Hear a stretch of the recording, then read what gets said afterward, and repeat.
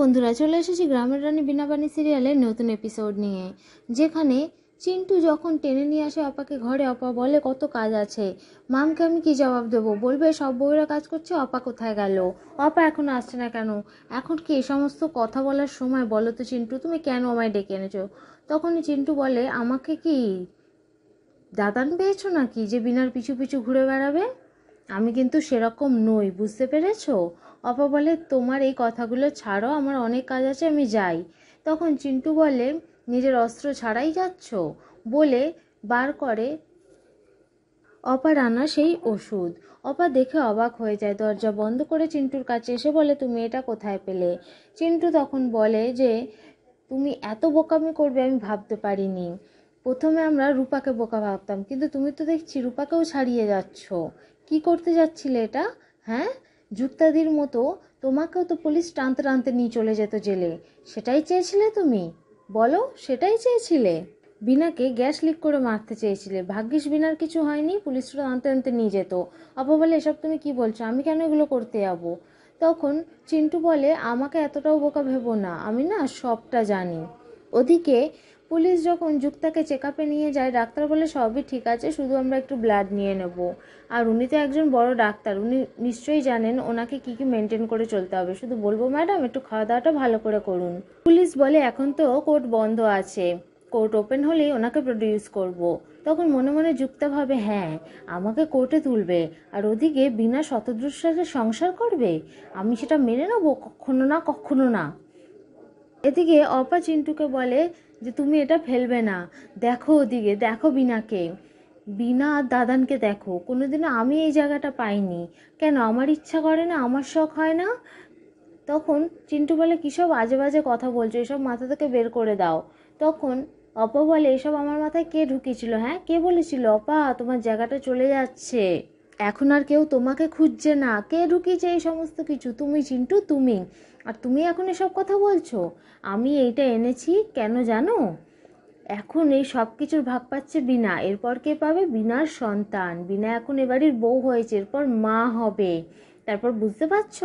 যেমন আমরা কিছু পাচ্ছি না, আমাদের সন্তানরাও কিছু পাবে না। সব কে পাবে? বিনা দাদানের সন্তান।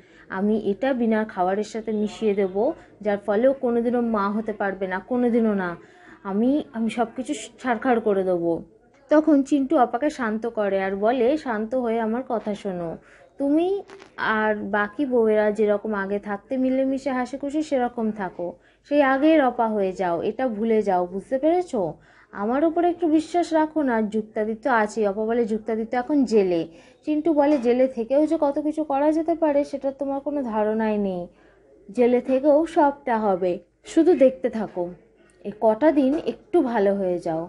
যেন সবার সাথে তুমি মিশে থাকো, বিনার সাথে স্পেশালি ওদিকে যুক্তা একটা সিজার নিয়ে সবাইকে ভয় দেখায় আর বলে, আমি আর বাঁচতে চাই না, আমি শিরা কেটে ফেলব, কেউ আমার সামনে আসবে না বলে হাতে শিরাটা কেটে ফেলে। ভালো করেই জানে যুক্তা কোন শিরা কাটলে সে বাঁচবে আর কোনটা কাটলে সে বাঁচবে না। শুধু ভয় দেখায় পুলিশ অফিসারদের।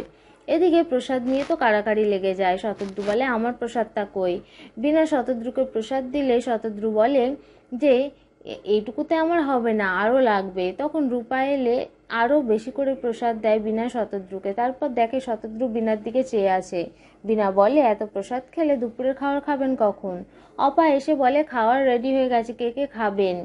তখন বিনার জামাইবাবু চঞ্চল সেনাপতি বলে, কি কি রান্না হয়েছে? অপা যখন এক একটা করে নাম বলতে শুরু করে, জামাই বলে, এত খাওয়ার, এত খাওয়ারের তো নামই শুনিনি, ওরে বাবা! কত খাওয়ার, কোথা কোথা থেকে এসেছে? এই নিয়ে লাফালাফি করতে থাকে। ইতিমধ্যে শৈবালও সেখানে চলে আসে। এসে ভাইদের সাথে ভাইদের মতো মেশে আর ছোটোবেলার কথাগুলো বলে ইমোশনাল করে দেয় শতদ্রুকে। শতদ্রু তার বাবার কথা চিন্তা করে, বিনা বলে বাবার কথা বুঝি খুব মনে পড়ছে।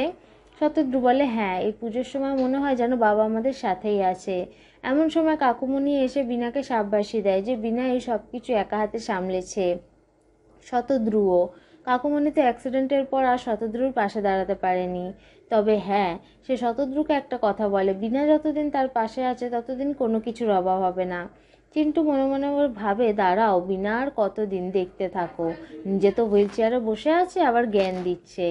ইতিমধ্যে শৈবালের ফোনে একটা আননোন নাম্বার থেকে ফোন এলে শৈবাল ফোন ধরলেই জানে যে তাকে বলা হচ্ছে যুক্তার ব্যাপারে। যুক্তার হাত কেটে ফেলেছে শুনে অপা বলে যে বাবা যুক্তাদি হাত কেটে ফেলল? যুক্তাদি সত্যি কি করল এটা? মানুষটা হয়তো বদলানোর চেষ্টা করছে। যুক্তাদি এত কিছু করেছে সব কিছু কি ভুলে যাওয়া সম্ভব? শতদ্রুত কিছুতেই মানতে নারাজ। সে যুক্তাকে একটুও বিশ্বাস করছে না, কিন্তু অপার কথা শুনে বিনার মনটা ইমোশনাল হয়ে পড়ে। সে শতদ্রুকে বোঝায় যে যুক্তা ম্যাডাম তো এককালে অনেক কিছু করেছে। তাকে ভালোবেসে পায়নি বলেই হয়তো এটা করছে, তাকেও একটা শুধরানোর সুযোগ দেওয়া উচিত, তাকে বোঝানো উচিত।